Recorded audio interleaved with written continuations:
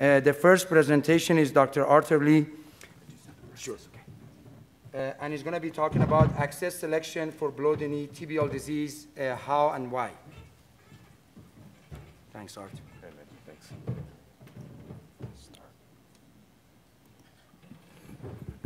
Well, thank you, guys. Thanks, Mehdi, for the invitation. Is there a clock? No, I'm clock? your clock. don't Okay. All right, so I have to apologize in advance. You know, the videos, they weren't able to get some of the videos to play, unfortunately. Um, but you'll see in this session, tibiopedal access, I think if you're doing CLI intervention, you have to be good at tibiopedal access. It has to be a part of the armamentarium. I think it's gained momentum in the last 10 years and has uh, really been accepted as sort of a standard that needs to be done for most patients with CLI. It's also been shown to be very uh, safe with low complication rates when done uh, uh, correctly. Uh, there, you can do it with fluoroscopic guidance, which is what I did in the beginning, but in the last six, seven years, it's been ultrasound almost exclusively, and I think this ultrasound can help uh, make the process safer for both you and your patients. So selecting the access point is uh, some, somewhat, you know, logic, uh, common sense. It's angiosome directed ideally. Uh, so if you have an ulcer on the bottom of the foot, you're going to go after the posterior tibia. You're going to go where the posterior tibial probably reconstitutes and get that access. On a practical level, sometimes it's anatomy dictated. Uh, it depends on the site of occlusion, the quality of the access vessel. Um, you know, is it calcified? What's the size? Is it visualized okay under ultrasound? Is it tortuous?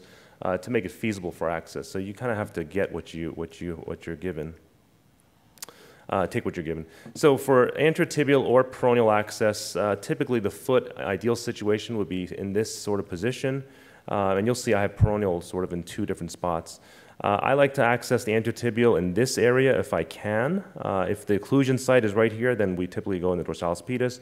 And again, if the access, uh, if the occlusion is even more distal, we'll go down into the, the what we call a digital stick. It's really the dorsal metatarsal artery. Uh, you know, up here, if you can get it above the uh, anterior communicating artery, it's nice because as the, the sheath is in, a lot of times, even if it's not, um, you know, it's, the artery is big, there'll be spasm, you'll have occlusion, um, and you'll have flow through the anterior communicating artery, sort of perfusing the distal bed. PT peroneal artery access, again, ideally, if the patient can frog their leg out, this makes it a lot better for you uh, in terms of getting access. And I like to get it above the ankle, somewhere, somewhere within four finger breadths above the ankle, where it's a little straighter, uh, a little deeper. Uh, and, and, i do it because I like long access. Uh, peroneal access, I have it here too, because again, peroneal access you can get from an anterior approach and a posterior approach. Typically by ultrasound, I go posterior. Uh, it's the same thing as a posterior tibial, but it's just sort of uh, twice as deep. Uh, if I'm using uh, fluoroscopic, if I can't see it with ultrasound, I'll go anterolateral and come from the anterior approach. So the benefits of ultrasound is that there's no radiation, no contrast. You avoid the veins. So again, here's the typical appearance, artery, vein, vein. Sometimes the veins ride right over the artery. A lot of times I've seen up to five veins around an artery, so it can have anomalous veins.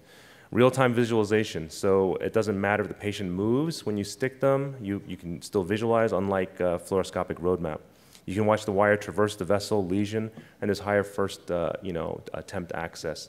Uh, you know, in the old days when I used fluoroscopic exclusively, you know, you'd be under the thing, radiating yourself, you get blood, you put the wire in, you put the sheath in, and you're in the vein. So again, to, act, to minimize complications, good visualization is key. Have patience when you start this, okay? Have patience to get the best image. If you're using a tech, and I recommend you use a tech in the beginning, uh, let them get the image, follow the tip down to the artery as opposed to sort of just guessing where you are. Um, so again, typically I use the smallest access. I keep it in the least amount of time. Now, the least amount of time doesn't mean always get it out as soon as possible. I typically make sure that I cross the lesion, I deliver therapy, I balloon, and that's when I might get rid of the sheath. Uh, flush often, and I typically run my ACT over 250. Uh, we talked about over communicating arteries.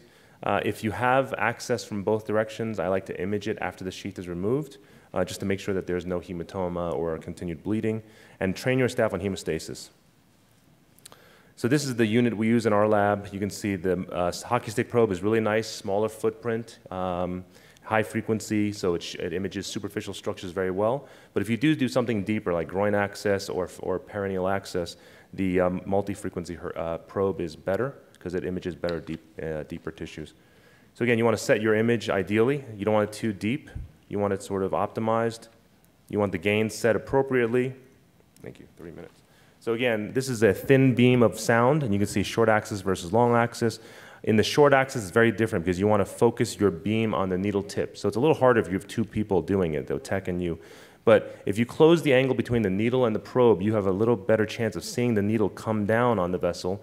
Uh, you get a little directionality, you can uh, adjust it, and you can follow the needle tip a little bit better. I like longitudinal. If you have a tech, the tech basically focuses their beam on the, on the artery. That's all they do. Keep the artery in focus. You come in and you adjust the needle medial and lateral until you see the tip advancing as you push. And if you follow that all the way down, you see the artery tent, you pop it in, you don't have to move the probe, wire goes in. One tip is when you get down under the skin, start bouncing the needle, your eye sees a moving object better than a static object. I see a lot of beginners have a really good position, but they, they stop. They think that they didn't get blood, they, they're not in. These vessels are typically calcified. You need to push down on them a lot. Um, and so commit if you see a good approach. Also, once you pop through, because you are pushing it down so far, a lot of times you're on the posterior wall, the, the wire meets uh, uh, resistance, so sometimes I tap, tap, tap as I'm pulling the wire, uh, needle back, and you'll see that release. On the right, that's actually a vein, so it's, a, it's an exaggerated motion. A lot of times I don't give lidocaine. If it's a tough stick, once you give lidocaine, the image gets even worse. Uh, a lot of these patients are neuropathic, and they're still going to feel a needle stick if they do, so I, I actually get access first, and then I lidocaine. Here's an example of a calcified vessel. You can see it moving around. So again, ultrasound offers the option of real-time imaging. Uh, dorsal metatarsal access, same thing. Ultrasound, you can see the vessel here, the two calcified tracts, the needle coming in. And that's what it looks like. So here's medial plantar access, dorsal metatarsal access. Here's what the lateral, medial plantar looks like on ultrasound. So this one didn't play, but sometimes you have to be careful. You know, manual compression is what I do for the most part, um, but you want to take a picture and make sure there's no hematoma on the vessel or pseudoaneurysm by ultrasound. So this is a, this is a case that's not going to play. But you can access occluded arteries. So in this case, we actually accessed an occluded anterior tibial artery. You can see the top and the bottom. If it's a nice visualization like this, you can enter it, flip, you know, prolapse your wire, push it through, and it's helpful in some cases.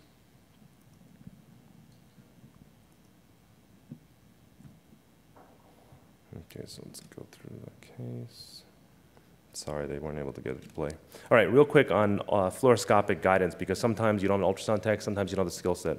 So uh, this is just for reference, but bottom line is camera position is very similar to where your ultrasound beam would be. Here's an example of anterior tibial access. Here's posterior tibial access. Here's peroneal access. So again, anterolateral, you put your camera about 20, 30 degrees ipsilateral.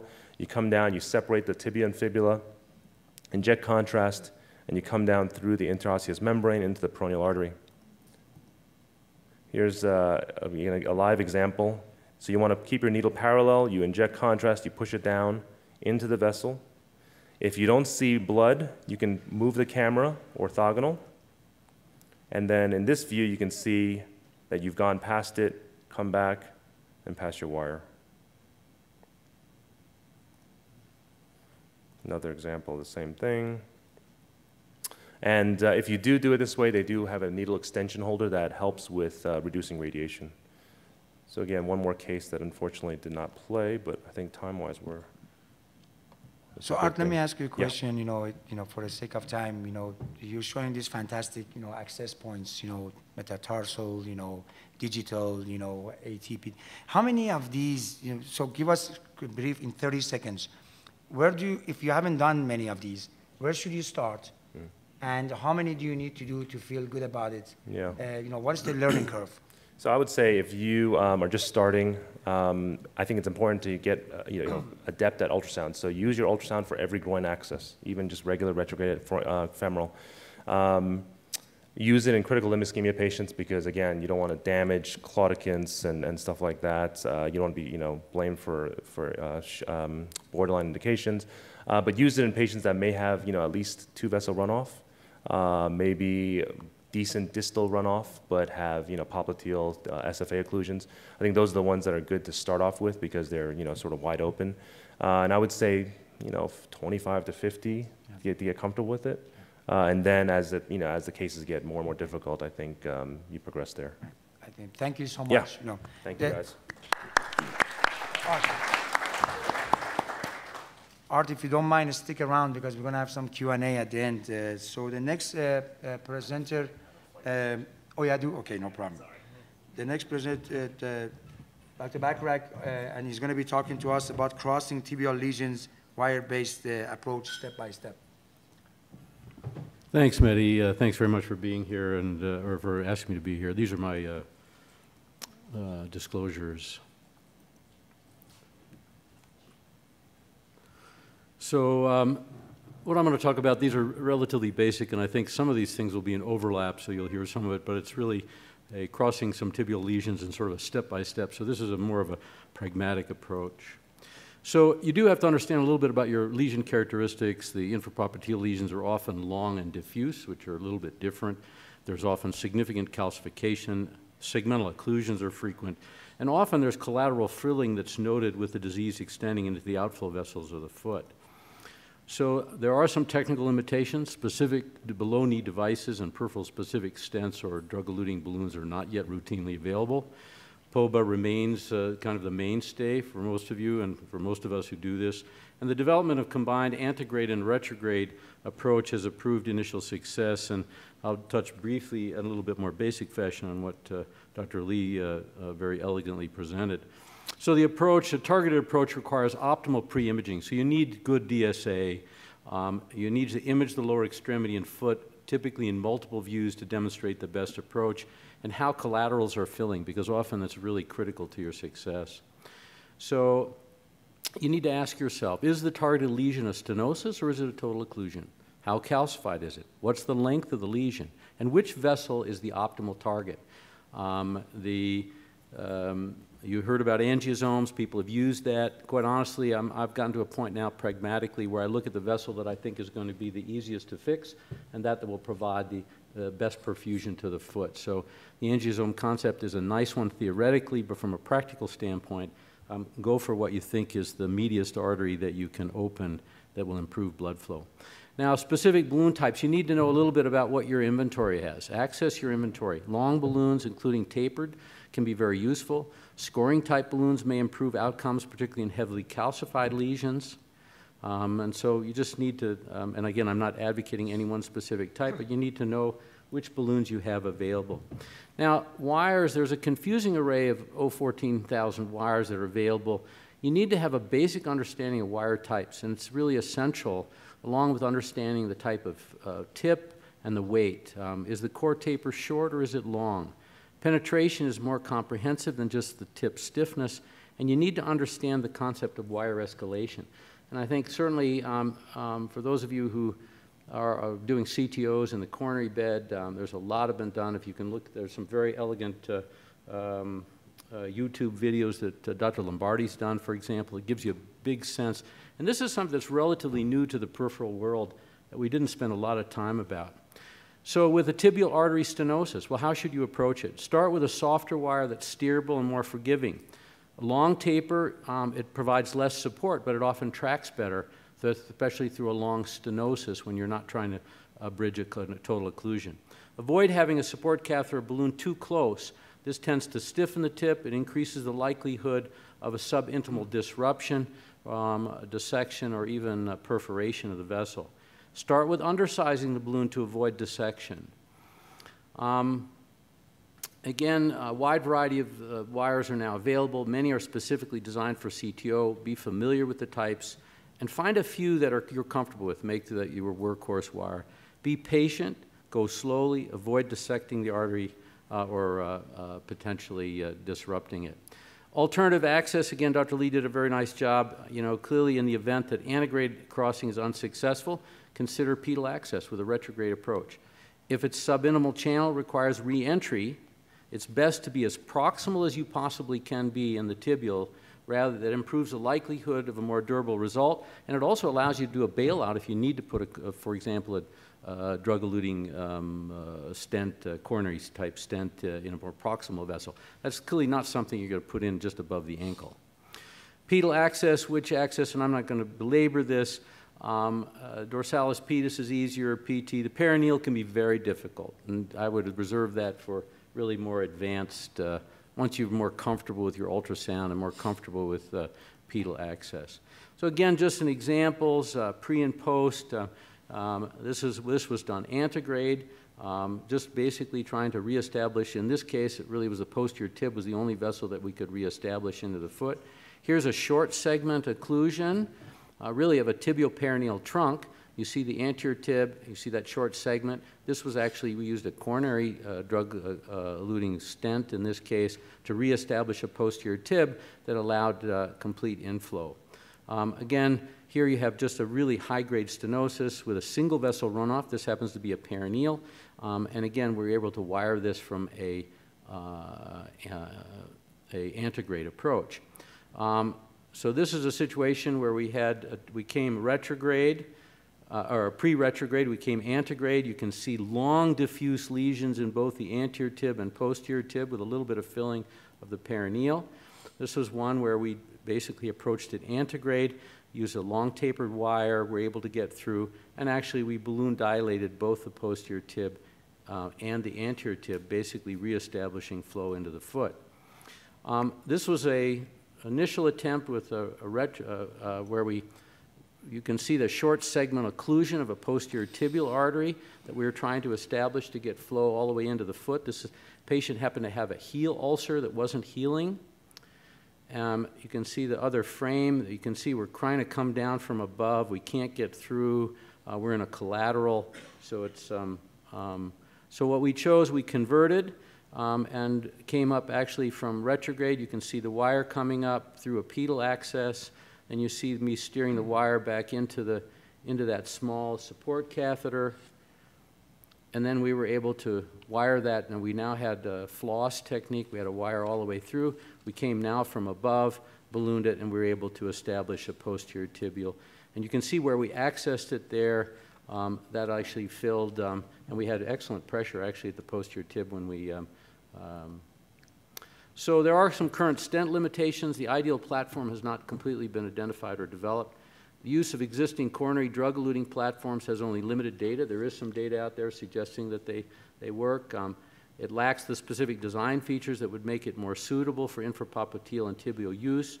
Um, unfortunately, there's been really no randomized controlled data to establish optimal utilization. Again, my, my only uh, advice is that if you're going to, if you have to do it, do it more proximally in the tibial. Don't try and put a stent down in around the ankle. In summary, uh, it's critical to have optimal imaging and identify the optimal target that you're after. Plan the approach and know your inventory. Be, be aware of the devices and wires that are best suited for your uh, intended target, and don't be reluctant to uh, consider alternative access. And with that, I'll stop, and thank you very much for Please your attention. Stay with us, Dr. Bacharach. Yeah, thank you so much. So, uh, Dr. Roger is here? Kevin Roger? Yeah, thanks. So uh, the next presentation is uh, crossing devices for tibial CD CTOs, technical tips, and uh, Dr. Rogers uh, is going to tell us about that. Thanks, Kevin. Thanks for the opportunity to speak today.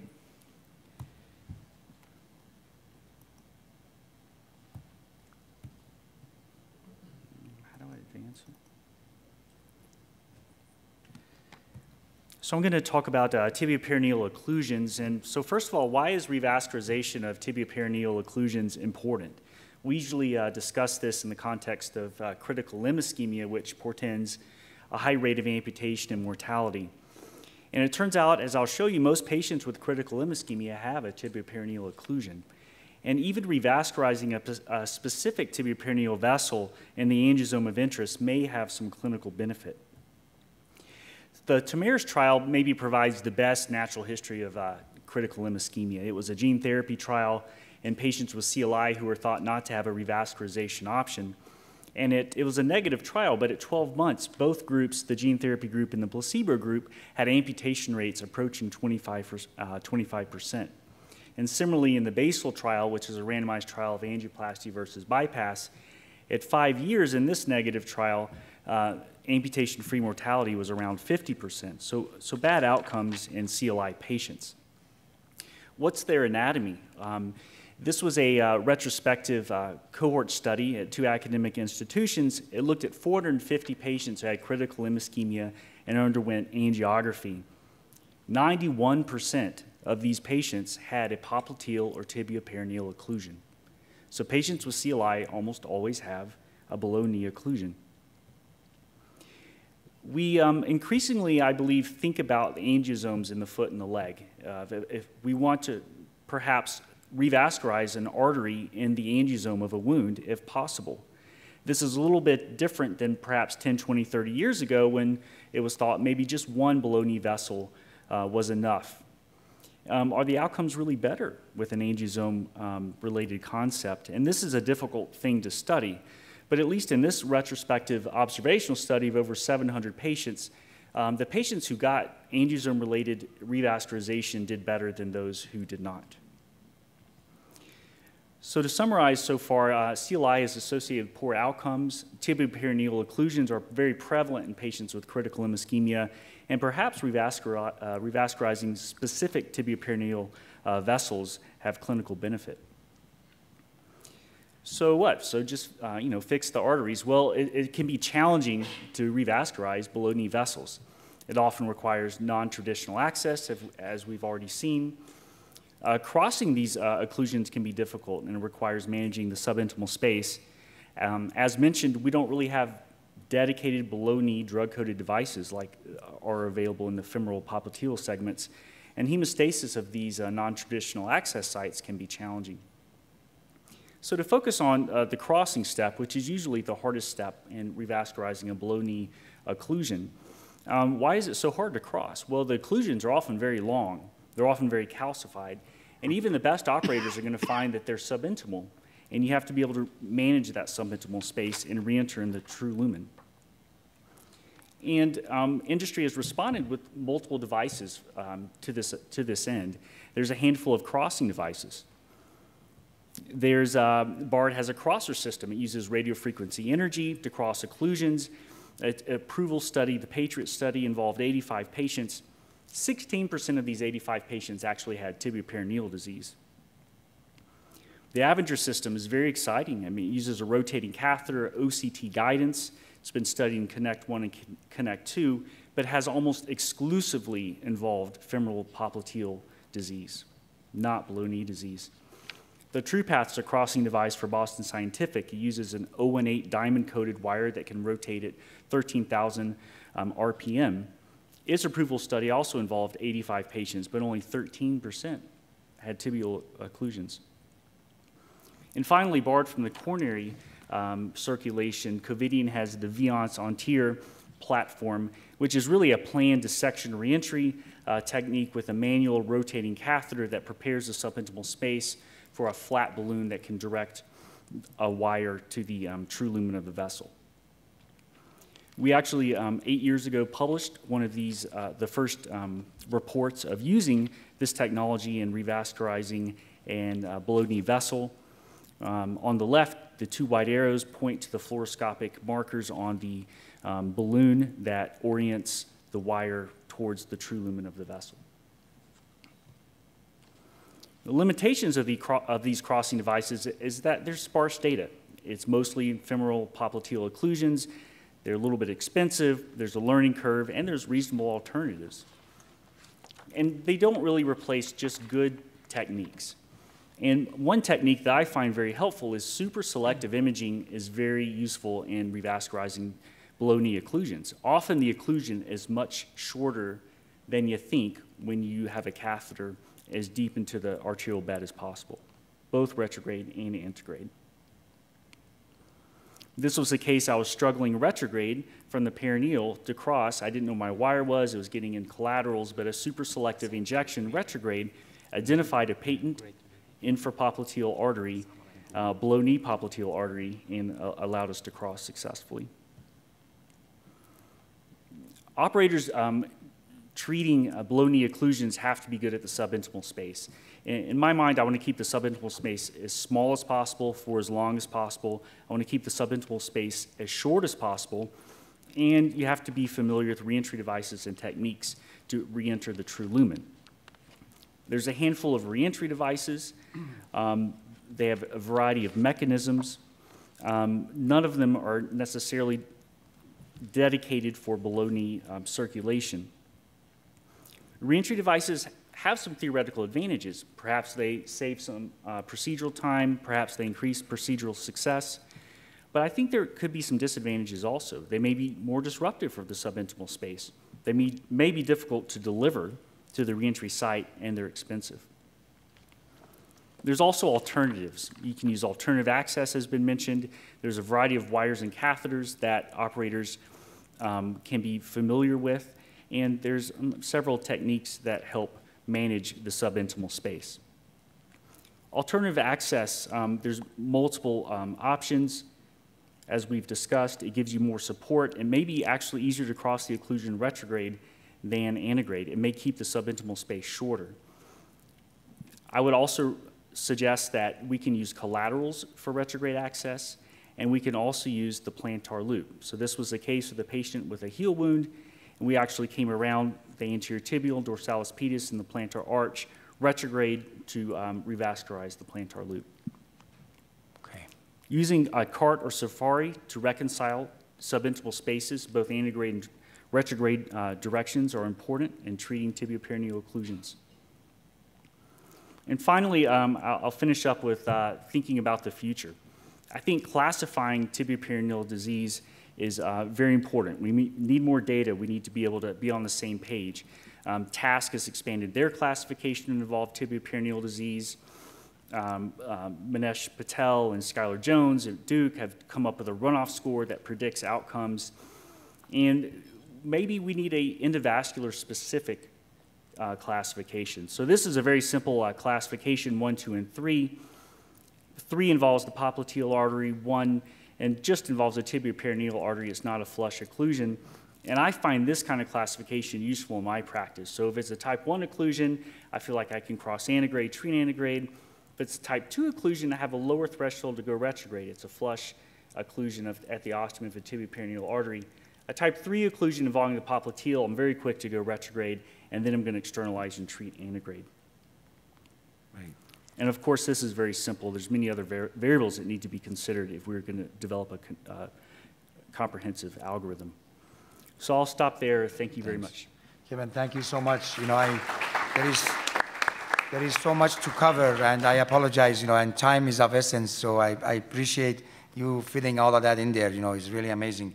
Yeah, so we talked about access and crossing, so let's get now into treating. So the first uh, discussion is uh, Dr. Ansari. He's going to talk about how to manage non-dilatable and heavily calcified lesions. Thanks a lot. So there's going to be a lot of overlap between mine and Dr. Shammas' talk. So Dr. Shammas is apologizing from the start. Thanks for this chance. Did you copy these slides? No, that I won't do. Wait a minute, I think this is not my talk. Press Okay. Yeah. Hmm. Okay, I have nothing to disclose.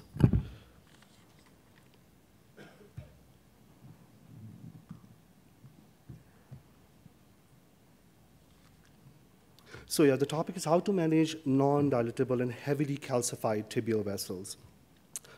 And I'm going to start with a case, because in eight minutes I have to cover this topic, so I decided to make it interesting with the start. 67-year-old male that does not believe in doctors and medicine. That's my Western Texas population. Spends a significant portion of income on chelation therapy, presents to our office with ulcer and claudication, history of cabbage and AAA therapy, rest pain for five months and left lower extremity, injured his toe and developed a worsening ulcer, and comes in and have been to multiple places before, he said, and nothing was done. I discussed this case in detail with Dr. Saab as well. So we started the consult in the office, going over everything with him. And if you could see, there is mild calcification there, if you can say. Heavily calcified, you don't see other vessels. We don't, I don't know where it's going to end. If you look at it, we think that's where the vessel is going to be. A lot of calcification, and this calcification is really different. It completely takes over the vessel. We went to dissections, and we discussed a few cases with you know, Armani regarding lower extremity, below the knee calcification, and that calcium and that intima and that vessel wall morphology is completely different than what we have in other regions of the body. It completely takes over the vessel. So we don't know where the vessel is. We are thinking this might be the place where the vessel would be. So doing angiography, okay, we see something over there. And we're trying to wire it, going with our catheter, okay, and with great difficulty the wire goes in. We try to go in with different balloons to see if we can dilate, couldn't get anything, so undilatable vessel. And we're now questioning where our wire is. We're not even sure if that's a vessel or if that's piercing the calcium, going through different kinds. Let's see if we can just use uh, the laser to make a hole in or see the proximal portion. We can do a little atherectomy and nothing. No other vessels, so type 4 CTO. Dr. Sabler really likes to talk about that. So what's our solution then? We said, let's decide to take advantage of pedal access. So these kinds of vessels, you have to be well versed with CLI therapy. So Mehdi once presented a case um, uh, in one of the meetings where you talk about when you have cases like this, you have to access at different points because every kind of a vector will help you, and that's what happens. We went through the peroneal artery, we flossed and tunneled, and we decided, okay, this might help us. So we came from above. Again, we used the balloon. Nothing would go up. Balloon not advancing in an antegrade fashion. Again, you cannot dilate. Went with a atherectomy, wouldn't pass. Then retrograde balloon angioplasty, and that gave us something, but again, there was still resistant in the vessel. So we stuck, this guy needs his leg. He's from Western Texas. What's our solution? So we said we repeated the orbital atherectomy. This time we came again after using a lot of medication that I want to talk about that. And two techniques that we use were one is sequential balloon angioplasty, then scoring balloon angioplasty. We prepped the vessel well, wouldn't stay open, and we went with stents because we have seen drug-eluting stents um, have given results in a few of the trials that were done in Europe and North America. We have a meta-analysis coming out soon on that. So, and this is our results. So, pretty good result. We're very happy with that. Now, we do have access point spasm because that's when we went to, but it's fine. So, a combination of various different things. We talked about accesses. The, I'm not going to go into details of that. But medication wise, Dr. Charji is sitting here, we came across different combinations. And this is what one thing we came across. We call it the TEX mix that we use in our very calcified vessels. It's a combination of verapamil, adenosine, nipride, and nitro, and we put it in a different, uh, it, it's not a trade secret, the paper will come out soon on one perfect combo of the dosing of these medication, but you have to keep in mind when you're using these medications uh, about the blood pressure of the patient, because these patients have multiple comorbidities, and some, sometimes to get pedal access, you have to put them into uh, MAC, and you have to just be careful about uh, the blood pressure on these patients when you're using this therapy. So I like not to use it as a drip, more so I use it as uh, on-the-go uh, injections. The other tips is the sequential balloon angioplasty. So these are vessels.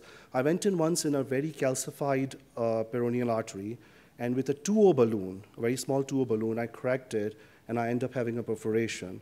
And I went in to do the uh, tamponading that perforation, and it kept on increasing till the point that I literally in that vessel, perforated vessel, decided to use a very variant technique, go in with the CSI atherectomy, then tamponade it, wouldn't help, and I end up putting a stent in because it was the only option because no matter how much you tamponade, or whatever you do, that spicules of calcium wouldn't let it heal. And this was fairly recent.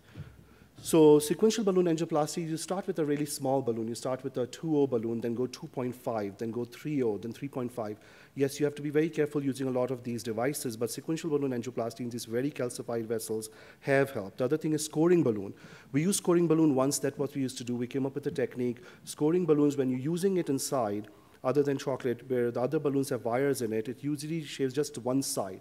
So you bring the balloon out, you turn it, you bring it in, and you cannot move the balloon if you're turning it from outside uh, unless you move it back and forth. And using that really helps. In different techniques, just putting it in, turning the balloon in different ways, it helps to give you some kind of a vessel form. Because this calcium that I saw in dissection completely takes over the vessel. So whatever you can get from the vessel, take it.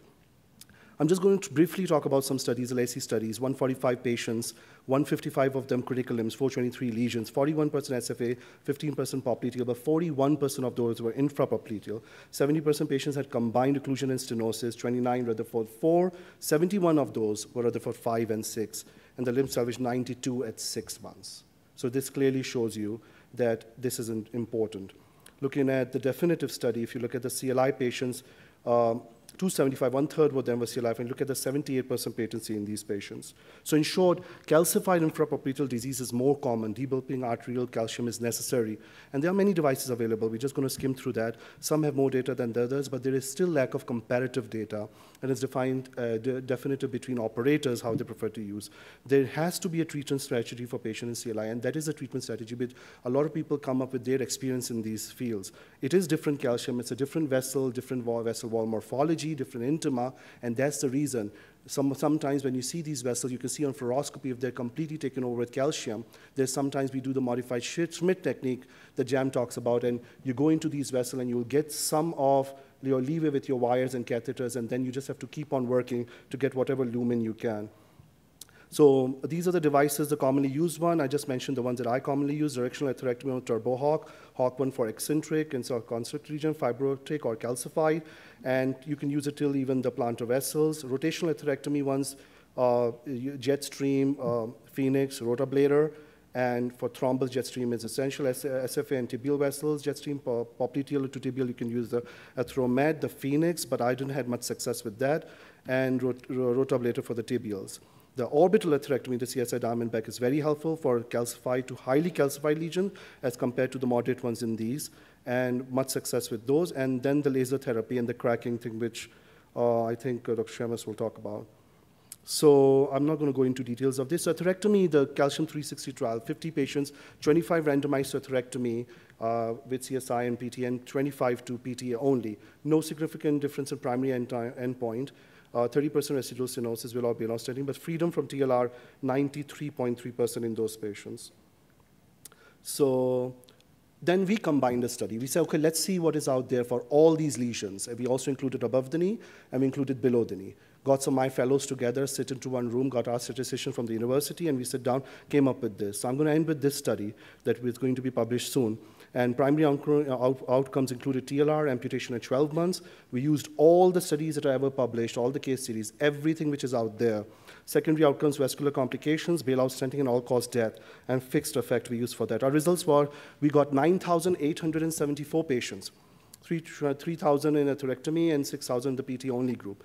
Baseline characteristics showed all these were old patients with 68 years old. That was the average age. Primary outcomes were target uh, TLR 16% versus 30%, and amputation rate at 12 months was 14 compared to 16 in the atherectomy group compared to the PDA. Secondary outcome analysis showed vascular complications 7 versus 9%, and bailout stenting was uh, 27 versus 10%. There was no all-cause mortality. So you see the trend clearly shows uh, no, better towards, slightly better towards amputation, no difference in all-cause death, slightly better towards bailout stenting.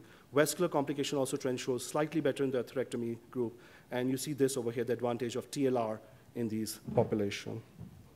So ending note is outcomes calcification needs atherectomy, safe and effective, and is feasible in the management of the disease. Each device type has specific strengths and weaknesses. One has to individualize the atherectomy device based on the morphology and anatomy, and it has to be case-based. What the future is different combinations of drug that's in the working, different balloons, scoring and cracking balloons, using different kinds of drugs in combo with those scoring balloons, and devices which will be more easier, safer, and effective. Thank you very much. Thanks so much. So our next speaker is Dr. Golzar, and uh, he's going to discuss proper angioplasty uh, tips and tricks, which uh, I would take very seriously. Is he here? Huh. Okay. Uh, I, that's fine. We move to Dr. Mena, and I will find him. So, uh, you know, the next, the, the next presentation is uh, pedal arch reconstruction, why and how. Thanks, fellas.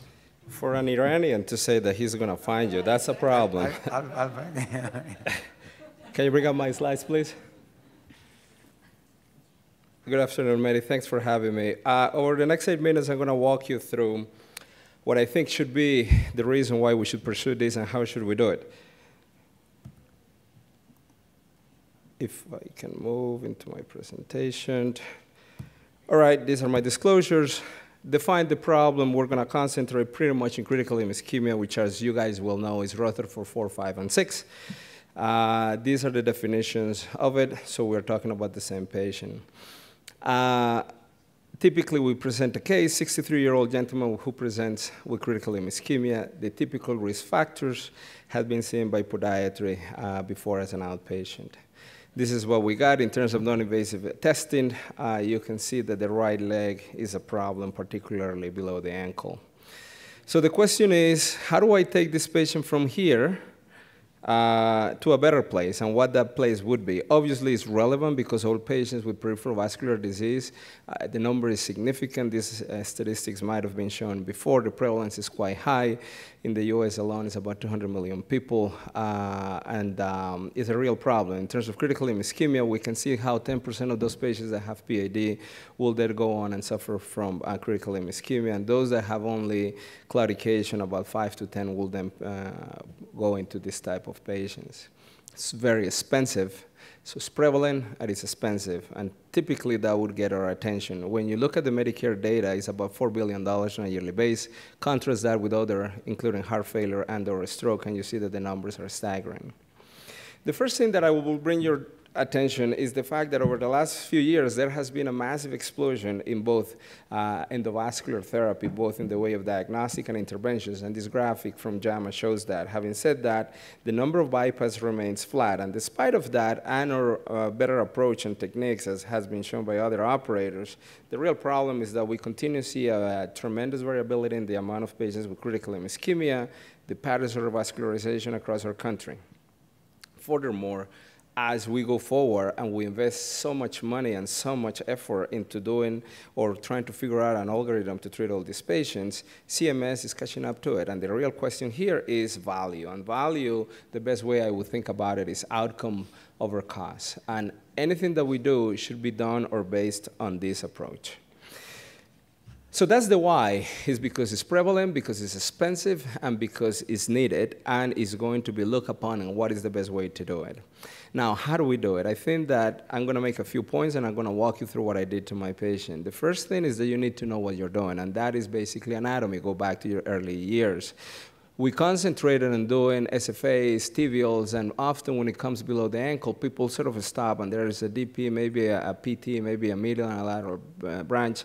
But if you're going to really become the person in CLI, you actually have to go deeper and try to understand uh, the different connections in the plantar arch and or the digital uh, arteries. And that is going to become particularly important as you endorse on complex interventions. You have been exposed uh, throughout this uh, course to the angiosome concept, and I think it's relevant particularly when you're talking about the plantar arch, and particularly when you're looking at a patient with a specific tissue loss. So I'm not going to go through all the different branches, but suffice to say that there are multiple connections between the AT and the PT uh, when you look at this, and knowing which channel to use, which one is open, which one is not, which one is an anatomic variant or not, is important. Uh, the same thing when it goes to the PT. Notice how I always show you a lateral view and an AP view, because that's how you should be looking at these films. Not only one view, but both views. And uh, I'm highlighting here the relationship between all these different branches and the angiosome concept, which is, again, of paramount importance, and I show it again there. Peroneal is equally important, and even though it's not particularly relevant at times for the plantar arch, it does feed uh, significant collaterals that at some point may become relevant. So what's the basics of this? First, you got to get good imaging. And good imaging relies upon you being able to do a good lateral view, and this is the lateral view that you must do in these patients. Foot needs to be lateral, x-ray should be perpendicular to what you're trying to do. And again, we use uh, criteria for correction. This tends to be the basis of what we do, which is the base of the fifth metatarsal. When you highlight this, is that you're really doing a lateral view. If you don't show that adequately, is it not a real true lateral view. Uh, and this is the picture that you should be able to get. Obviously, this is a normal uh, foot, but in the disease foot, it's going to highlight where and what you should be doing. The AP is equally important. The foot should be up, X-ray uh, eh, the way it's displayed in the uh, slide, and then the correction factor here is going to be the uh, first metatarsal space. You have to be able to lay it out, otherwise you're not looking at what you should be looking, and if you're not looking the right things, you're not going to be able to open it up. And this is what you should be able to look at. And again, it becomes relevant in a second when I show you my case. Um, obviously, you have to have a, um, framework to start this, and that comes general aspects. You're going to need to decide what are you going to use? The length of the wires, balloons, or what have you, the profile of them, the flexibility nature of them. There are different kind of wires. We've talked about this. Obviously, you got to become familiar with the specific group. There are millions of them. Uh, but you got to learn which one you trust, which ones you don't, and that's how you develop your armamentarium. Support catheter is pretty much the similar. You got to uh, group them in your mind based on flexibility profile and whether they are hydrophilic or not. I would highly encourage you to use coronary catheters that we use for CTO. The reason being the diameter, the flexibility, and the ability to cross through difficult spots. The wires, tons of them, you know them as well as I do. You got to pick and choose depending on what the challenges are. In terms of angioplasty, whether you are contralateral or ipsilateral, I prefer ipsilateral for this type of cases, and these are the considerations that you want to do. And then techniques, there are multiple techniques, but when it comes to the plantar arch, intraluminal is the way to go. Anything short than that, don't do it because you're going to make the situation worse. Is that what you're aiming for? This is a case that I did with a good friend of uh, Mehdi and I in Italy. Uh, and I'm going to highlight quickly the anatomy, the SFA, you'll see it above the knee, below the knee vessels, and this is what we did. You can see uh, that the SFA has significant disease, more or less here. Obviously, that's not the reason why the patient presented like this. This is the pop. You see here the AT, the peroneal is there, and the PT is missing. Or target like in the case that I presented was the PT. Good lateral, you see highlighted the base of the fifth metatarsal, and a good AP, you see the space. Clearly, I need to open the PT and the plantar arch. Without that, I'm not going to be able to offer this patient what I need. So here we go. We go with a support catheter and a wire. And in typical uh, peripheral practice, we push, we push until we hopefully get somewhere. We push here, but unfortunately, we didn't get where we wanted to go. Uh, Mehdi has an Iranian expression for this You're type trying of to make us all look bad, man. This is not fair. You know, it's like, you know, I my people are here, they're like, it takes I you three hours to do this, and this guy did it in 10 seconds. So now, here is the, the money shot. I had shown you how AP and lateral are very important. Here I'm using the AP and I'm using the, the metatarsal space as a point of reference. I'm going to access this. This is a stream axis. It's important, but it helps you and highlights the importance of good imaging and good concepts. I go here, we access, we go uh, and start looking and navigate the plantar arch, and you can see how important it is. Then we go here retrograde, and you can see how we are able to open the PT in a nice fashion. What I do afterwards is just I exteriorize the wire. I change my approach to the uh, anterior approach. I don't like to do anything from the retrograde approach in this location. I think it's problematic. I confirm my position. I didn't like the guy wire that was here, and I wanted to achieve hemostasis. I put another guy wire, balloon, and angioplasty, as we will always do in this location. There's no specific devices other than that for the below the arch. And you can see great result in the PT and a beautiful plantar arch, done in a retrograde fashion, understanding the anatomy, where to puncture and how to puncture. Is this relevant? I think so, because this is the next frontier. Stopping at the ankle is no longer an option. Mehdi, thank you for the invitation. Thank you very much. Can you stay, fellas? We're going to discuss. Sure. Let me get my computer. That was fantastic, thank you, and I love how you do the video like that. I wish I could do it live and get done quick. You know, our uh, next speaker to be found, Dr. Golzar. Thanks for coming, man. He's going to talk about proper angioplasty, tips and tricks. Sorry about that. Someone offered me a joint outside, and then I just lost track of time. So I don't even know what time it is right now. So um, how do we?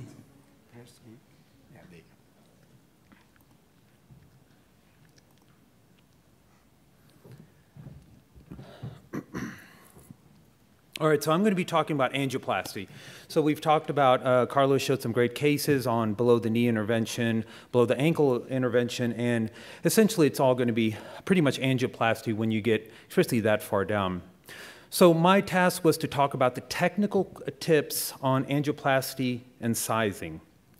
These are my disclosures. So when we talk about uh, PVI imaging, there's several challenges, and this is what gets into the challenges of sizing. You have poor image quality, especially if you're not doing DSA. You have, sorry, these lines are not supposed to be there. I think there's something, a problem with the transformation from uh, Mac to PowerPoint. There's tapering of vessels, and we're going to talk about this a little bit. It happens when you're going from the SFA to the popliteal, as well as from the proximal infrapopliteal vessel to the uh, distal infrapopliteal vessels. Um, and then also, you a lot of physicians undersize and we talked about this this morning Mehdi and i did at one of the sessions is they undersize their angioplasty balloon because of a fear of perforation and dissection and that's probably the wrong thing to do. Now in terms of optimal vessel sizing for angioplasty we don't have a lot of data so we have to be intuitive about it. So it seems to make sense right? So it seems intuitive that if you have a correct vessel size and you're using angioplasty, that should be the right way to do it. There's really no studies that have looked at appropriate sizing for angioplasty in peripheral vascular intervention. Most of the data that we use is extrapolated from coronary data. And it's logical that if optimal sizing improves your coronary intervention, coronary artery intervention, that it's going to improve your peripheral vascular intervention as well. Now, we do know in coronary arteries it makes a difference. We know that in coronary interventions, optimal sizing, especially with intravascular ultrasound, is important, and uh, vessel sizing is important. And it's even more important with stenting, where we know in coronary stenting you have much better outcomes if you have the proper size. Uh, a stent implantation, and you have much worse outcome if you undersize your stent or oversize uh, the stent. Now, if we take that to the next step and talk about how does this translate over to the vascular world, what are the consequences of um, uh, uh, suboptimal uh, angioplasty? If you undersize, again, inadequate vessel prep, and especially in the world of drug elution, be it uh, microinfusion uh, therapeutics or with drug-coated balloons, proper angioplasty and proper vessel prep is essential. You undersize, you get vessel recoil you can't deliver a stent. You don't, eh, eh, you try to deliver that stent and now it doesn't expand correctly. Now on the opposite side, over, uh, oversizing, what does that cause? A, acute vessel closure due to dissection and perforation. So those are the consequences of not getting it right. So what are your options? So what can we do? So we have, usually what most of us do is angiography. So when you look at an SFA or an anterior tibial uh, uh, below the knee uh, vessel, you guesstimate what size it is, and you kind of have in your mind what range that should be. But that comes with experience. That comes with doing hundreds and thousands of cases.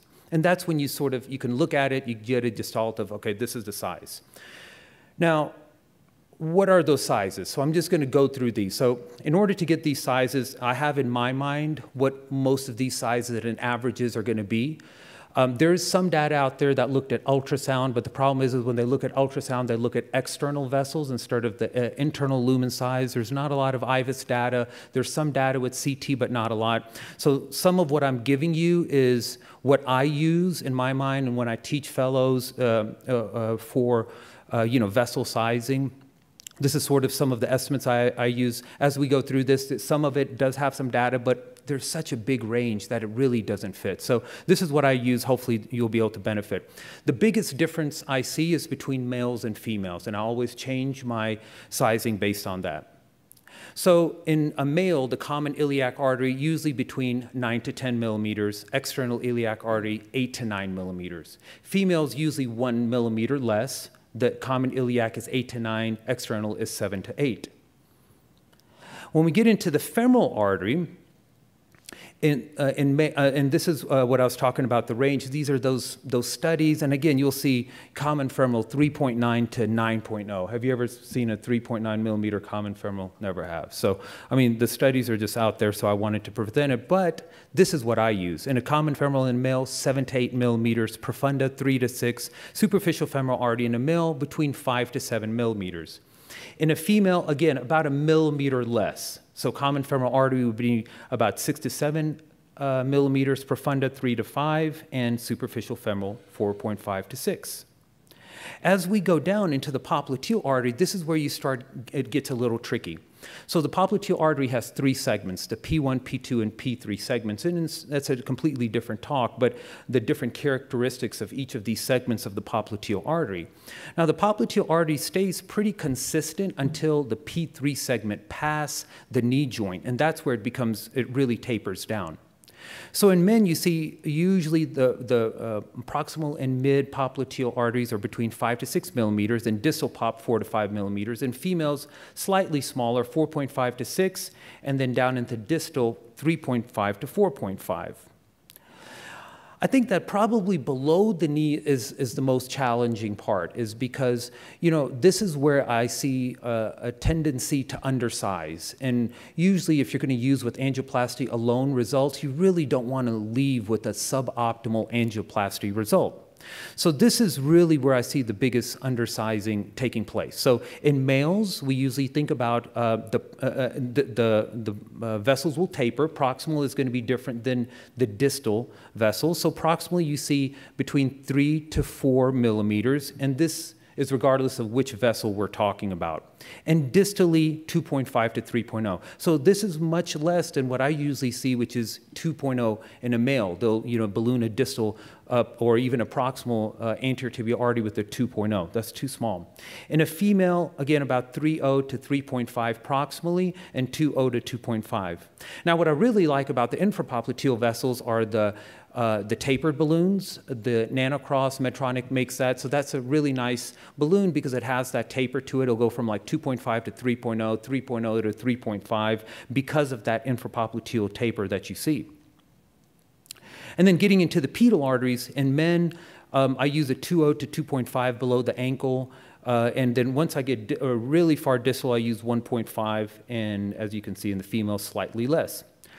So that's angiography. You can use CT, you can use OCT, you can use intravascular ultrasound. These are all tools that you can use. The question is, is when do you use it? Do you use it at every single patient? Probably not. I don't because it takes me time, resources. So when do I use it? I know this is not a stent talk, this is an angioplasty talk, but that's really the main time that I would use it. So I'd use it definitely if I'm using a covered stent because we know that outcomes are improved with covered stent implantation, especially in a popliteal artery or in an iliac artery. So really I want to get a perfect size there. For a Supera stent, same thing. We want to make sure that the vessel prep is adequate and that we're sizing that vessel uh, appropriately. And we know that that affects long-term patency. So appropriately sizing and prepping that vessel is really important. And those patients that have chronic kidney disease, limited dye use, uh, IVUS is helpful. A few pearls in terms of angioplasty. I always say slow and low. This helps prevent vessel trauma. So I, I, don't even look at the compliance chart. I don't look at the sizing. I just go up slowly. It takes me about 30 seconds to go up, slowly until I, until I see conforming of the balloon to the vessel wall. And this is usually two to three atmospheres. I never take it to even the nominal pressure, and that's okay. Long balloon inflations, usually two minutes, is a must.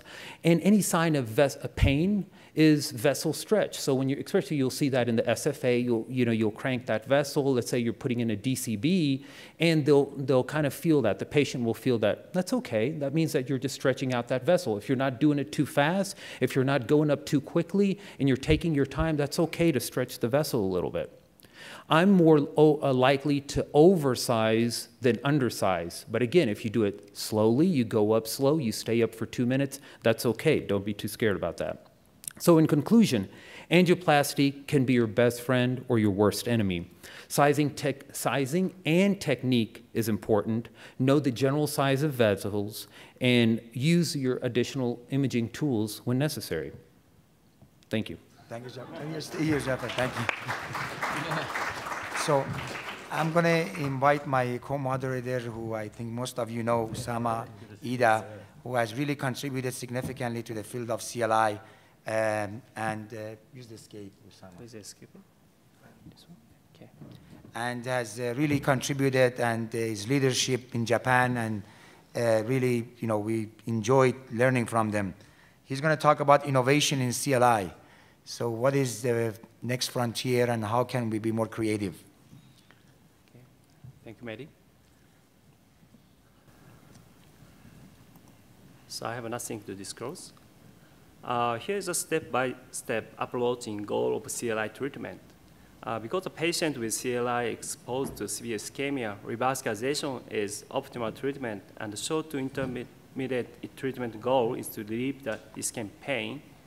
cure ischemic wound and avoid major amputation. After overcoming the CLI condition, long-term treatment goal is to improve the patient QOL, ADL, and mortality. Absolute goal for CLI patient is to improve the patient mortality with well-being. Uh, these are many innovations of CLI treatment within the current decade. These innovations dramatically contribute to CLI outcome improvement. In other words, people who engage the CLI treatment should understand these. Uh, here are two major studies comparing the endovascular therapy versus surgical bypass therapy in CLI patients. BASIL trial was a consistent of the prospective multicenter randomized trial, while the critical study was a prospective multicenter registry. According to these two studies, if amputation-free survival is an endpoint, result of endovascular therapy is comparable to that of the surgical bypass therapy. Uh, in terms of the evaluation of ischemia, skin perfusion pressure, pressure plays an important role for assessing the severity of ischemia and predicting wound healing. If skin perfusion pressure is over 4 millimeter, 40 millimeter mercury, 100% wound healing rate expected, and this modality has been mentioned in the ACC guideline. Uh, regarding the assessment of wound severity, Wi-Fi classification is an alternative grading.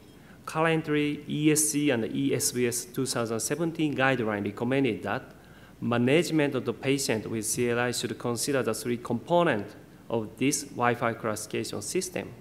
Revascularization should always uh, be discussed as its suitability is increased with more severe stages. Uh, it is not too much to say that clinical outcome of CLI-treated endovascular thanks to the innovation of the technique, especially in the below the knee artery region. These are many techniques as a CT revascularization strategy, and there is a general agreement for acquiring the better outcome. I think these techniques should be routinely mastered in the physician who perform the endovascular intervention. Uh, angiosome concept and brush are clinically important to define the endpoint of CLI intervention. Before emerging these concepts, it is hard to clearly decide whether the procedure could finish or not. After widespread applying these strategies, we can decide the procedure endpoint with strong confidence. What is the true treatment strategy below the knee region? Because the diffuse calcifying and totally occlusive disease are commonly found, and stent-based treatment is the ideal, but the full metal jacket using the stent is not realistic. DCB-based treatment is a clinical ideal, but have no general consensus in this field. Further in investigation should be warranted. After revascularization for vessel, quality of wound care directly and critically impact the patient's prognosis. Recently, negative pressure wound therapy play an important role for wound care and is essential therapy for especially severe wound. Uh, ultimate clinical question is real-world practice is whether the revascularization would improve the CLI mortality. We therefore conducted the priority registry. Uh, this priority registry is the first prospective center real-world study assessing the prognostic impact of revascularization for poor risk CLI patients. Uh, here is the one-year survival rate of the two groups, revealing the major, uh, main result in this study. At the three months, the survival rate was 83% in the revascularization group and 76% in the non-revascularization group. Uh, there, these are significant intergroup difference. However, at one year, survival rate was 55% versus 51% with no significant difference. One year overall survival rate was not significantly different between the revascularization and non-revascularization group in poor risk CLI patients. To explore for subgroup in favor of revascularization, we subsequently performed the risk stratification analysis. The screening analysis suggests that the subgroup with non-older age, non-heart failure, and non-rest of pain CLI were in favor of revascularization. Uh, we also compared the clinical outcome between the surgical reconstruction and endovascular therapy for Japanese patients with CLI in today's real-world setting. After propensity matching analysis, the three-year amputation-free survival rate was not different between the groups. Amputation-free survival at three years in both groups was 52%. This result was similar to previous BASIL and Kritis study. So we also performed the interaction analysis providing the five factors more favorable for surgical reconstruction and another five factors less favorable for surgical reconstruction. If total point of the patient is plus one or more, these patients are suitable for surgical reconstruction. On the other hand, if the total point is minus two or less, these patients are suitable for endovascular therapy. The subsequent interaction analysis suggests that CLI with severe wound status might be more fit for surgical reconstruction, while the, those with poor general condition might benefit more from the endovascular therapy in terms of amputation-free survival. Uh, in this presentation, I summarize current innovation of CLI treatment. Further innovation will be needed to improve the CLI outcome. Thank you very much for your attention. Thank you so much, Sam. Thank you so much. Uh, our next presenter is uh, my good friend, Dr. Nicolas Shammas, who is going to talk about do we really need atherectomy for tibial disease? So, Mehdi, we have restarted the program here. No, no, no, just, just close the. Should we start from the beginning? no, please don't. Yes, so. Because I don't mind, but I think the people here probably will get upset. Yes, I can imagine. They want to go and join Dr. Golzar outside. Some of them, not everybody, maybe. I don't know. All right, perfect. Let's see. Which one is to move forward? You have to wait. Uh-huh. Got it. All right. Well, Mehdi, thank you very much uh, for the invitation, and thank you for an amazing meeting. It just really gets better every single year, which is amazing. So, uh, Mehdi asked me to speak about do we really need atherectomy for tibial disease? Quite a simple question, right? You know, when you think about uh, the potential answers for that question, you know, we probably will need a whole day to discuss this, but I got eight minutes to cover it. So let's start with the basics here.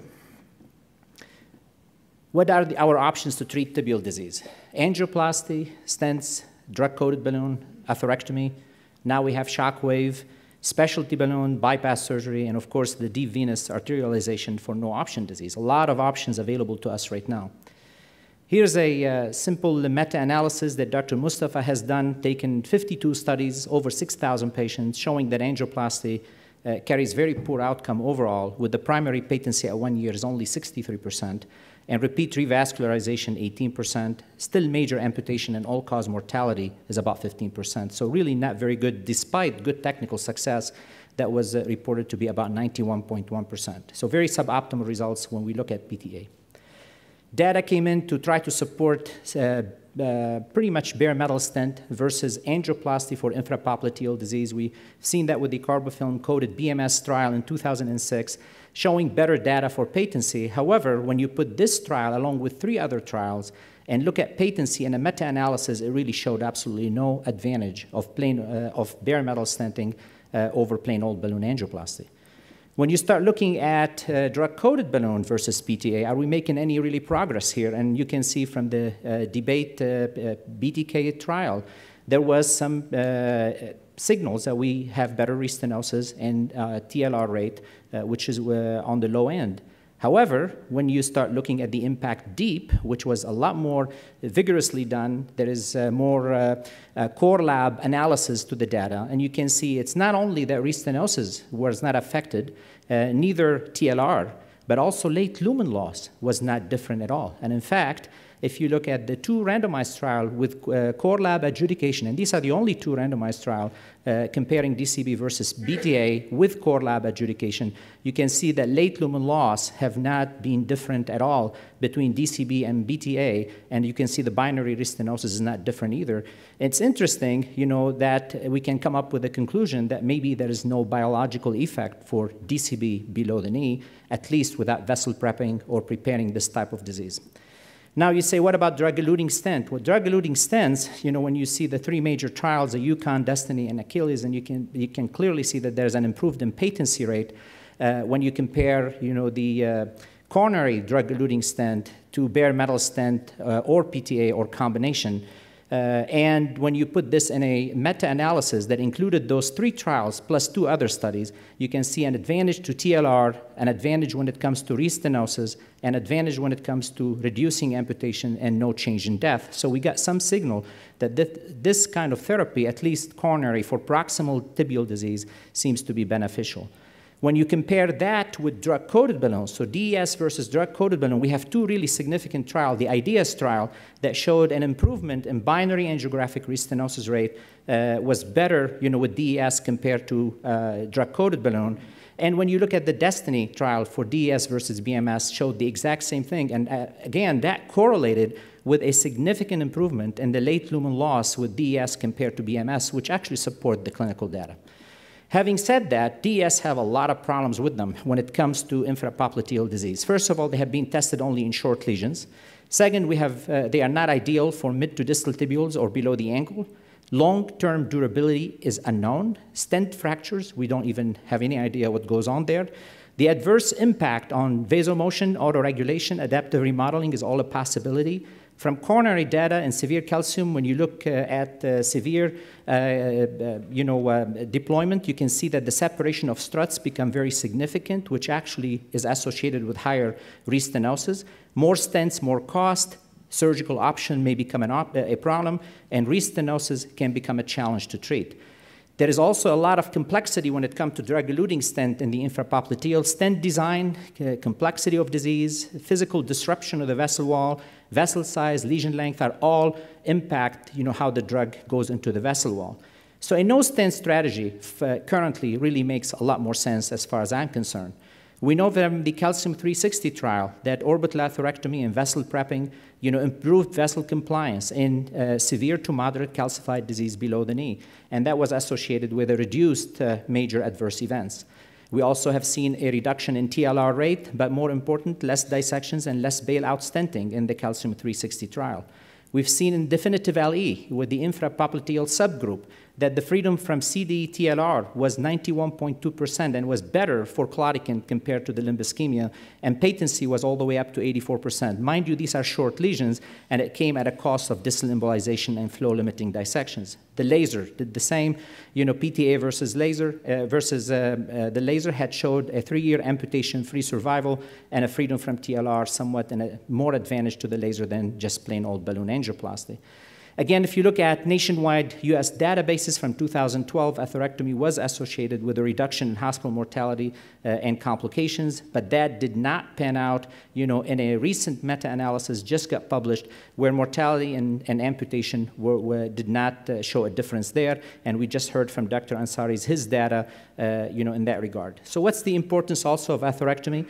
You know, if you look at some of the preclinical data, you know, these are cadaveric human lower limbs, Post-orbital atherectomy, there was a 400% increase in paclitaxel uptake in the tibial vessels. Most people do not realize that degree of increase in paclitaxel concentration post-orbital atherectomy, as well as a diffusion of the drug way far into the vessel wall. And the optimized below the knee trial is going to tell us, you know, if that along with uh, uh, play, along with the drug-coated balloon is going to make an impact on TLR as well as duplex ultrasound patency related. Again, this is not powered really for these endpoints, mostly powered for acute success, but we're going to get some good signal from that study. Endovascular tacking may be a new uh, treatment on the horizon. You know, again, we have to remember that this is, um, uh, uh, you know, with, with, the data presented by Dr. Brodmann, there is some advantage to the precision of deployment, seems to be very good, over 97.1% success rate. Uh, but again, we still have a ways to go with the patency rate down to 77.4%. So what's the ideal strategy? Leaving nothing behind? I would say debulk, motorbike compliance, enhance the biological response of drug-coated balloon, possibly by modifying calcium, and use limited stent or Tack system for focal significant dissections. So to conclude, the infrapopliteal interventions, PTA carries poor outcome. Compared to PTA, and uh, you know, we have uh, primary bare metal stenting seems to have similar outcomes. DCB, you know, does not add any advantage by itself. Drug-eluting stent appear to be superior, at least in short lesion, proximal disease. However, the DES, as we have uh, shown, has a lot of limitation. Vessel prepping seems to make a lot more sense. Less bailout stenting and angiographic dissections, and overall acceptable freedom from TLR and patency at one year. Uh, all this hopefully will allow better drug absorption, penetration. So we're awaiting new trials like the optimized trial. Uh, again, think about focal stenting or tacking to treat localized disease uh, rather than carpet stenting in this type of vessels. Thank you very much. Thank you so much. Thank you so much. Let me uh, introduce Dr. Soga, who came to us from Japan, and he also has contributed. Again, these guys are partners and have educated us. So he's going to talk about perforation and embolization uh, in, for tibial uh, intervention. Escape. Okay.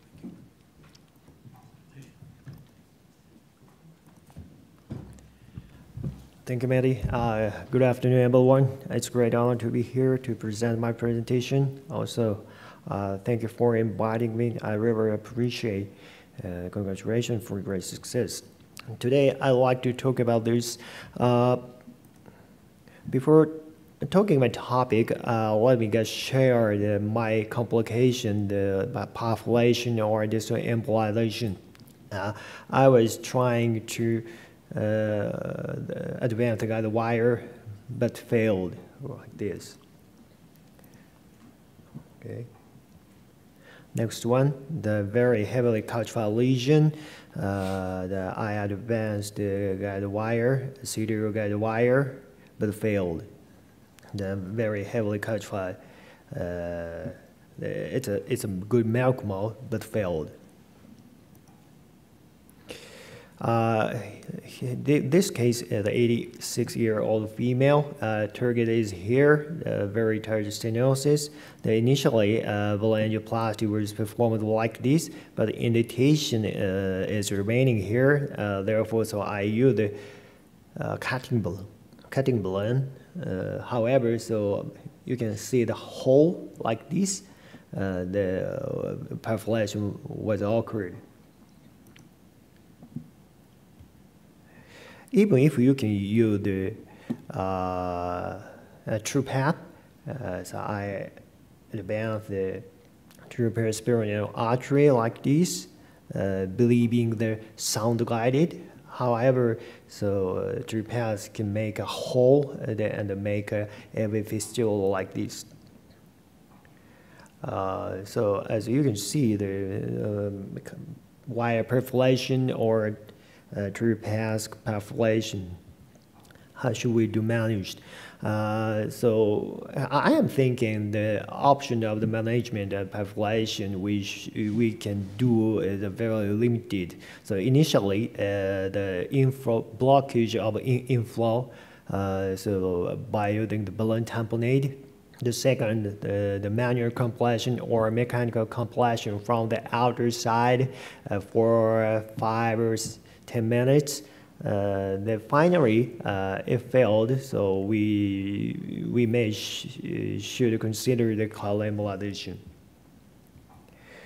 Okay, uh, let's uh, move on to the next topic, the distal embolization. Uh, but uh, actually, uh, to be honest, I have few distal embolization in TBL intervention. So we usually encounter the distal embolization during the iliac CTO or FEMPOP CTO. Uh, therefore, so uh, I will show you the case. in-stent occlusion, I uh, balloon angioplasty was performed to cover the whole in-stent occlusion side. The result is pretty nice. Uh, however, uh, as you can see, the, the plaque uh, has been dropping like this. Then I use the aspiration catheter like this.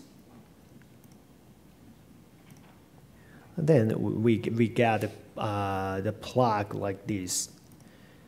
Uh, however, so to avoid the, the avoidance of the this emboli is also much important. I think uh, the initially after the guide wire passage, uh, I used the Jetstream uh, for the the fresh thrombus of the uh, or flash plaque. After that, the result is not so bad, uh, rather good. Then uh, we can check the thrombus uh, from the cover like this. Then uh, we can find the big thrombus like like a worm. Yeah, great. So uh, the next, the, the for the management of the emboli, so we usually use the prostaglandin E1 during procedure after occurrence of the uh, emboli, or so we are using the nitroprusside or a nitro injection to, to become a good runoff. Or sometimes, in some cases, we use the uh, anticoagulant drug, so uh, without the acutylene. So sometimes uh, we use the aspiration catheter or mechanical thrombectomy, but mechanical thrombectomy is not available in Japan yet. Uh, therefore, it's very limited.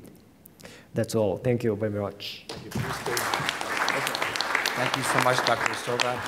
And uh, we have one more presentation, Dr. Lee, who was a fellow last year as part of the CVI, and this year uh, she became a faculty. Uh, so uh, she's going to present CVI fellow to faculty presentation. So hopefully she's going to give us some sense as to how do you grow from a fellow to a faculty. Thank you. Thank you, Mehdi. I've been a faculty for three weeks, so I think this is the perfect timing for this talk. um, so I'm going to start with a, uh, one case presentation. Uh, this was actually my very first case as an attending. 76-year-old man with uh, CAD had prior PCI, end-stage renal disease on dialysis, COPD, and obesity. He was found to have osteomyelitis of the right lower extremity, fifth digit, uh, and underwent amputation with one of our podiatrists. Um, he then subsequently obtained uh, ABI, which showed uh, 0.5 on the right lower extremity. Um, here are his angiograms when I took him to the lab. The patient actually did not remember that he had an iliac stent, but here's an iliac stent that was previously placed. You can appreciate the tortuosity of the common iliac as well as the internal iliac here. The stent here, as you can see, is a little bit undersized proximally, and it almost looks like it's a little bit wrangled. So um, that's an important uh, thing to point out here uh, because it will ultimately affect our uh, decision for how to treat. Um, the iliac itself is a little bit aneurysmal proximally, otherwise is relatively free of disease. There's a mild ISR within the stent itself. The common femoral is relatively free of disease, as is the SFA. Um, when we go below the knee, you can appreciate that the AT is completely occluded proximally. Um, distally, there is uh, reconstitution in the DP. So what would be your approach, um, given the, uh, the uh, tortuosity of the iliacs as well as the undersized stent? Um, should it be contralateral access? Should I get antegrade access? Um, and then should I go uh, with retrograde up front or just try antegrade first, uh, dissection and reentry? Ultimately, um, I actually decided to go with an antegrade access um, just because of the uh, difficulty crossing that iliac. When I did put in um, a catheter past the stent, importantly, there was no notable gradient across the stent, so it did not require treatment. Um, so I also decided to um, uh, merge antegrade and retrograde access um, techniques and then dissection and reentry. So here I have a Gligold um, and from the antegrade side um, and obtained uh, retrograde access into the DP, uh, placed the gl- Gligold uh, from a retrograde standpoint as well. Um, the two met in the uh, proximal AT, um, and then ultimately I was able to uh, feed the gold, uh, Gligold into a antegrade CXI. I only saved a frame that it worked in, so. um, so I ballooned this uh, with a compliant 2.5 balloon, um, and you can see there's still significant residual stenosis. Um, so I further dilated using a chocolate 3.0. And this was the uh, completion result with intact flow to the AT. Uh, his ABI, uh, I don't have the uh, actual digital uh, ABI, but it improved from 0.5 to 0.8. I'm also trying to actually work with our vascular lab because, as you know, a TBI is also very important in this. Um, so the institution I started at, uh, we were working on getting a TBI. Uh, so so things to expect in your first month as an attending. Uh, start building a referral base, so meeting all the podiatrists in your area, uh, meeting your vascular surgeons as you know they're going to be great collaborators in your work. Uh, knowing all of your wound specialists because you're after you do your intervention, that's not where the care for the patient ends. It's the continuing wound uh, management of these patients. Knowing your cardiologist and your PCP is also very important as these uh, become a large referral base for you. And obviously be humble. You're the new guy or the new gal in town. Um, you're here to help and learn from your senior partners. Um, don't be, you know, uh, pompous or cocky. Uh, always be available. Make sure that your cell phone is readily available to everyone and make sure that you communicate with your referring uh, physicians. Um, in the last peripheral talk, we also discussed a little bit about billing, uh, and that's something that we never learn in medical school and very seldomly in training as well. So I encourage you as you kind of go through your fellowship, understand more and more about uh, how to bill and you know exactly in peripheral procedures particularly because there's actually a lot to learn from that aspect. So also, more importantly, know your limitations. Things to avoid in your first month as an attending would probably be wounds like this or like this. However, some things were unavoidable. This is my second case uh, as an attending. Uh, this was a 75-year-old man with ischemic cardiomyopathy. He has known CTO of the RCA and circumflex with an EF of 15 uh, to 20 percent. He had a history of Guillain-Barré, uh, had plasmapheresis in 2014, with essentially recovered function. He was actually living on his own. Um, he had been telling his family that he had had uh, sprained his Achilles uh, tendon uh, for the past four weeks. Um, and finally, the family noticed that his, his house was starting to smell a little bit, uh, and they brought him into the hospital. As it turns out, he has bilateral heel wounds as well as bilateral exposed Achilles tendons. Um, so his ABI, as you can see here, on the right was 0.31 and on the left was 0.36. Um, given the ABI findings, concern was uh, for bilateral SFA occlusion and a bilateral AKA was offered by the vascular surgeon. When I first saw him, his right uh, Achilles tendon was still kind of white and pearly, still actually looked healthy despite the loss of soft tissue around it. His left Achilles tendon actually looked worse than this. Uh, it was completely black, and so was the heel. Um, so when I talked with my podiatrist, um, you know, the thought was maybe what we can do is try to save his right leg, given that it was still kind of, the tendon still looked healthy. Um, I, I, actually had intended to bring him into the lab that same day. Uh, unfortunately, he has some anemia and some hypotension uh, necessitating blood transfusion. So his procedure was delayed for a couple of days as we kind of worked up the anemia. So by the time that I brought him to the lab, his right Achilles actually had already progressed. Um, what you can see here is that it's becoming black and uh, yellow uh, colored. So I took my initial angiogram uh, up and over. There's, as you can see here, common femoral disease that's calcified. The SFA is occluded. There's ostial profunda disease. Um, completely occluded re reconstitution below the knee in the P3 segment there's an AT and essentially no flow actually to the posterior side of the leg at all. So um, I actually started initially with an antegrade approach uh, with a stiff angle glide wire um, and NaviCross. That did not actually penetrate the proximal cap at all. Um, I attempted uh, retrograde access into the DP, however, there was a lesion in the DP which prohibited that. Um, so I ended up going retrograde in the proximal AT. Um, put, put, this is the um, micro, uh, micro uh, access wire, uh, which was then subsequently exchanged for a glide gold uh, with CXI support. I did have to modify a JR4 proximally to really engage the cap and advance the stiff angle glide wire. And ultimately, I was able to meet the two and externalize the retrograde wire. So I performed you these. said you graduated two weeks ago? Uh huh. Yeah. So I performed DCB of the CFA uh, and the SFA, ended up placing a supera behind the knee because there was residual dissection and um, disease in the distal SFA and in the popliteal artery. Um, below the knee, um, I actually tried uh, to uh, go through the peroneal artery. It was really calcified. I couldn't push any equipment down at all. Um, and I actually tried to cross the pedal arch as well. I suspect he probably had an incomplete arch. Um, so these are my final pictures. So this is the common femoral SFA popliteal. The superas are from here to here, um, and the AT, and you can see the disease that was in the DP. So the goal in him, so he's actually going to end up getting a left lower extremity, so the contralateral leg is going to get an AKA. And we're going to do watchful waiting on the right lower extremity. Depending on how the tissue responds now that the inflow is open, and there's actually a trickle of uh, flow through the peroneal now that I've poked it a bunch, um, he may ultimately still require BKA, but at least he would have an AKA and BKA as opposed to bilateral AKs. Thank Great. you. Thank you so much. Stay here.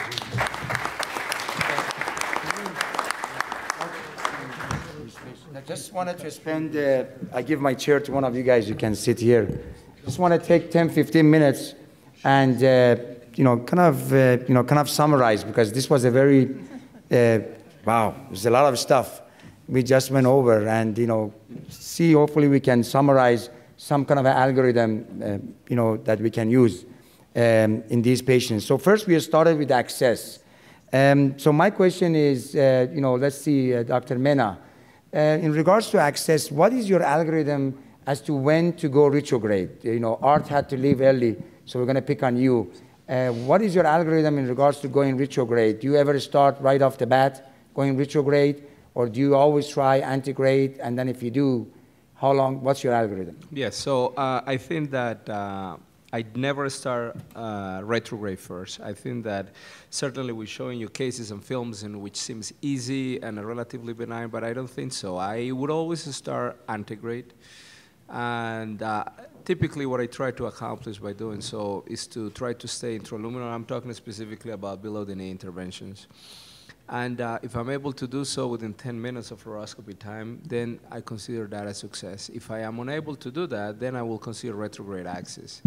I think retrograde access, the problem is that, you know, you come to all these lectures and people talk and show these films, and the problem is that it's not necessarily as simple. There is a learning curve number one. And number two, I'm always very thoughtful about what the surgical options are going to be and what is this retrograde access going to do to that. Because if in the process of doing this, I am completely, um, you know, killing the surgical option, I also think that it's not necessarily smart. And if I am to do it, I would discuss it with my surgical colleagues and make sure that we're on the same page. I think that retrograde approaches and all these endovascular techniques are a complement to the vascular surgery approach. And only when you have that view, you can actually become successful at it. Dr. Bacharach, you know, can you tell us, you know, you know, Jun presented, you know, she had very good training and, you know, pushing the envelope. Uh, what are your advice and your thoughts regarding building the relationship that Carlos is talking about? And, uh, you know, with these complex patients, I mean, when do you, when should you seek help? When should you push the envelope so people don't say, oh, this, you know, people judge you too. If your, your threshold is too low, then people say, oh, he's weak or she is weak. And, you know, like to hear your advice. And you've been in this field for a long time. Well, I, I, mean, I don't have any pat answer. I think, you know, obviously I'm, I'm in a surgical group, so basically I, you know, I, by, by default, um, they were the original people that were doing, um, and, you know, surgical revascularization, and I then complemented them with the endovascular approach at a time when endo was not very common. Um, you know, I think it's really a matter of planning, and so certainly what you want to do is if, you, if you're concerned about it, or, you, or you, it's a very complex case, or there is a significant amount of already existing tissue loss, that sort of thing, then it's often probably better to talk with your surgical colleague before you attempt something. And I think certainly it's much easier to, to talk about the various potential complications and issues and what the bailout would be rather than to get yourself into trouble and then suddenly call your surgical colleague and say, oh, listen, now I'm in trouble, or I've taken someone with a viable leg and it's no longer viable. So I think that's really, and so that concept of viability, and as Carlos just said, you know, what do you do to make certain that in fact if it is a viable extremity that you don't do anything, that your first job again is to do no harm. Um, so I think part of it's just a matter of communication. And um, you know, the, the, I mean, it's really complementary skills. You recognize that, um, and again, depends a little bit on the surgeons that you're working with. Some who are more endovascularly savvy, um, perhaps more contemporarily trained. Some of the older vascular surgeons really don't do as much or certainly are unwilling to take on some of the, the small vessel, especially tibial disease. And I think you, you know, if you appropriately work with them, I think that, and again, recognizing um, access issues, um, you know, perhaps you send the, the- case that has a high-grade common femoral and profunda lesion, you send it for a common femoral endarterectomy, and then instead of trying to put a stent across the groin, which then potentially impacts on future access, may not have the same durability. So, I mean, I think that you have to be cognizant of what those surgical options are, and you, so you need to be able to talk to intelligently to your, to your surgeon. So I think that's about the, the best advice I can No, give that's, you. that's awesome. I think the key, I mean, the most important part, I think, was that to discuss the case beforehand. The last thing you want to do on the table, having a complication, and then calling your surgeon saying that, oh, can you come? And then, you know, obviously they're busy, they're not going to be happy with you, and that's going to cause a problem. So Jun, in that case, in that second case you showed, how did you approach it? Like, I know you didn't just take the patient to the lab and work on that. So what did you do? extensive conversations with the podiatrist, with the, with the, I actually had um, hour-long conversations with the podiatrist and the vascular surgeon beforehand, even the day of the procedure, and then afterwards to lay out a, um, a careful plan for that patient, just because we knew that he was at very high risk of limb loss, regardless of how successful the revascularization was. Yeah. So that's great. I mean, I think that, you know, this is the kind of case when you're taking these complex cases, especially early on, and you're going to take them on, is that make sure everybody's on the same page and that you have good discussion. You know, so Jaafer, you know, you talked about, you know, angioplasty, and we know below the knee we are limited. We are, there are options, but it's still limited compared to the SFA. So uh, what is considered a decent time for angioplasty for below the knee? Is it two minutes? Somebody today was saying five to eight minutes. So what is the average duration of angioplasty? You leave the balloon for below the knee. Yeah, uh, that's a good question. So as I mentioned during my talk, it's uh, for, uh, for, it depends on what I'm doing. So if, if I'm going to do standalone angioplasty with no DCB, which uh, is what I would do below the knee, it would be two minutes. Two minutes. Um, and then I come down. If I'm doing SFA or popliteal and I'm going, and I know I'm going to follow that with a DCB, I'll usually do it 30 seconds, 45 seconds to see if I have a dissection. And then if I don't have a dissection, then I'll follow with DCB for three minutes. And then that, so then that way I kind of know, because I'll know in 30 seconds if it's going to dissect that artery. So that's usually my algorithm. That- That's good. Uh, Dr. Soga, uh, I know that in Japan, a significant portion of the patients have end-stage renal disease. Yeah. Maybe 30, 40, sometimes 50%. Is that correct? So what do you do uh, dealing with calcification? You know, we had uh, Dr. Ansari kind of give us the American side of it, and Dr. Shammas, you know, there's a lot of atherectomy that's available here.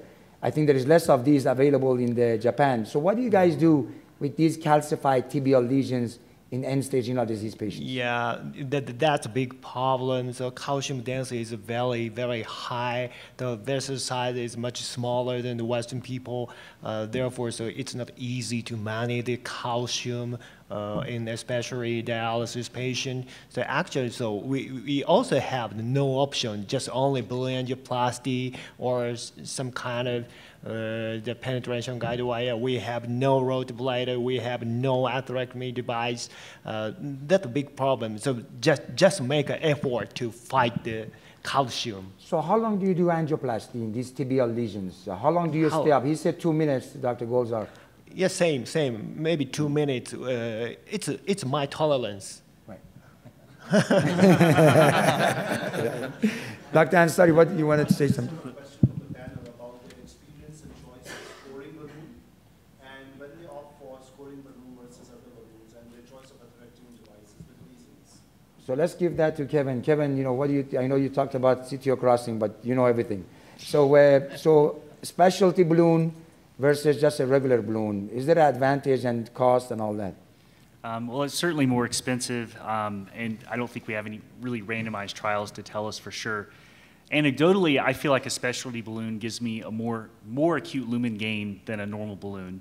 I particularly like the nitinol cage balloons, and although it's expensive, I like to use a specialty balloon to get a uh, a lot of acute lumen gain, and then follow it with a drug-coated balloon um, for the biologic long-term effect. So Nick, you know, atherectomy, you know, is always, you know, we have a challenge with this technology. So you, you did a nice job of kind of showing the shortcomings of all the various devices. And then you ended with atherectomy and basically highlighting, you know, debulking. But, you know, when we talk about tibials, And we talk about patients with one vessel runoff, right? These are not people with three vessel runoff and beautiful, you know, you know, foot pictures. You know, how much can you do? Like, how much debulking really can you do? Is it plaque modification? Is it debulking? What is it that we're really doing? And I know you have a lot of experience. Love to take, you know, get your input on that. Yeah, Mehdi, in the infrapopliteal world, you're really trying to do vessel compliance more than anything else. If, you, if you're ag- very aggressive in debulking, you're going to trash literally the distal circulation. And you're going to end up with a lot of perfusion issues. You know, we, we can do that in the FemPop because we use a lot of filters. And we have bulky disease, you know, we tend to put filters in. You don't have that option, really, when you are uh, you know, in the infrapopliteal segment. I, I'll, I'll modify that and say if you're a retrograde, you know, pedal access, and you're doing that type of orbital atherectomy, let's say, you know, a lot of the flow going back into your sheath, you know, with the, you know, you could technically flush back that distal embolization, you know, or flush it out. But if you're going, you know, uh, you know, antegradally and, and you're aggressively debulking, you know, we've seen issues of slow flow and problems. I, I would certainly avoid that, and avoid that certainly in, in situation of wounds, you know, particularly patient with advanced disease, you know, where they are living off a very limited number, you know, of, of remaining vessels, and, and you can probably obliterate all that stuff if you're very aggressive. Very aggressive. So you recommend being much more judicial with atherectomy below the knee, obviously, for the reasons you mentioned. I, I would, and the, and the purpose is to do vessel compliance so I can get good uh, expansion of the vessel with whatever technology I'm using.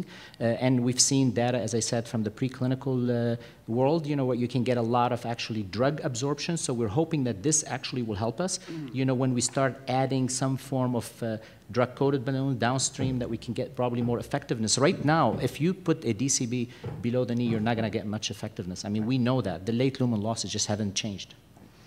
Okay, we're going to leave the last question for Dr. Iida. You talked about innovation and uh, innovation in CLI. So, and you showed a little bit of data from the spinach uh, registry. So my question to you is that currently in your practice, uh, what percentage of the patients do you send for bypass? Uh, you know, is there a, you know, given the, the, you know, the algorithms that you have and the prediction models that you have created, what percentage in your practice do you think would be better off with, let's say, bypass and, C- and that have CLI? So uh, this is a great point. I think in my practice, 5 to 10% Yes.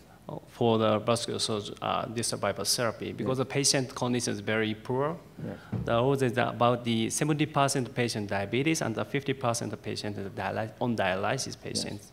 Also, these patients have the poor cardiac function, the poor tolerance for the medication. So we decided to enforce, but uh, I think the uh, wound with very severe infection, the large amount of the wound, lo- defined as for the six, is a good indication for the bypass surgery. I So think. big wounds where you Big, need a lot of blood wound, flow, And uh, also the wound infection, infection. wound yes. infection. Yeah, That's fantastic.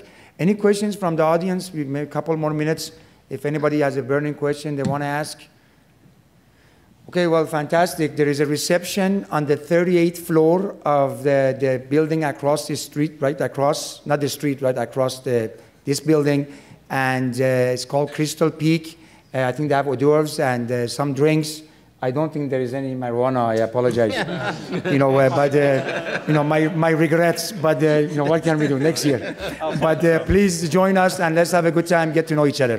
Thank you very much. Thanks, guys. Thank you very much.